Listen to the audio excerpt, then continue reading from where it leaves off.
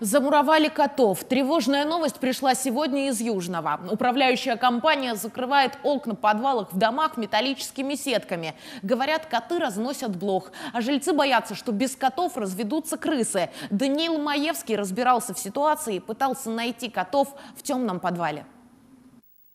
Это улица Панфиловцев, дом 23. И здесь, как мы видим, установлены свежие вентиляционные решетки на окнах подвалов. Такие же стоят и на соседнем доме, и местные жители против этого. Почему?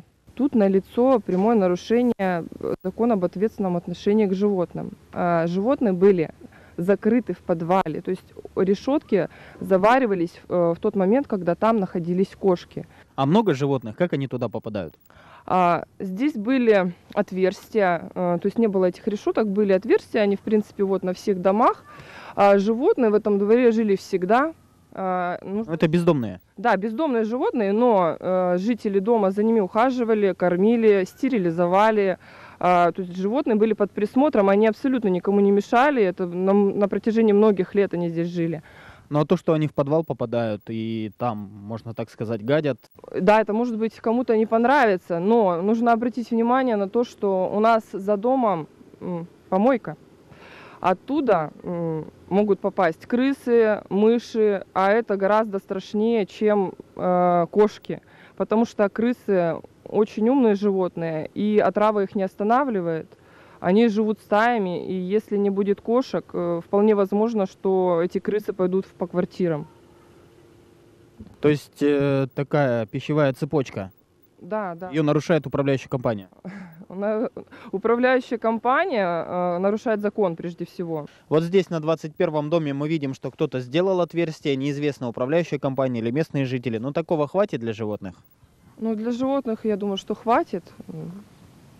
Ну, зайти, зайти-то они могут, конечно. Ну, кошки, но не собаки, наверное. Собакам, собаки, в принципе, в подвалы не полезут, конечно. Конечно, для кошек хватит. Чтобы вентиляция работала, все заваривалось, чтобы эти твари туда не залазили. Они же инфекцию разносят. Кто разносит? Кошки. А вы как относитесь, что вот заваривают окна? Хреново, если сказать можно. Почему? Ну, потому что не стоит это. Сейчас мыши подлезут и крысы. Вон девятиэтажки бегают там уже так и все. К нам уже подоспели зоозащитники и появилась э, очередная версия, почему это происходит и чем это чревато. Подвалы заваривают для того, чтобы проводить дератизацию крыс, получается, убивать. И э, когда крысы погибают, во-первых, их никто не убирает. У нас очень часто жалобы на то, что трупы остаются внутри. И второй момент, при дератизации могут погибнуть и кошки также. Ну, скорее всего, если проводилась дератизация, то в подвалах могут быть трупы кошек. А слесарь? Я даже за ним приеду, если, если можно.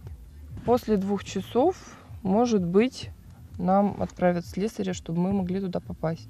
Не удалось нам выманить слесаря, чтобы он пришел, открыл подвал, и мы посмотрели, есть там бездомные животные или же нет. Поэтому мы решили сразу обратиться в управляющую компанию.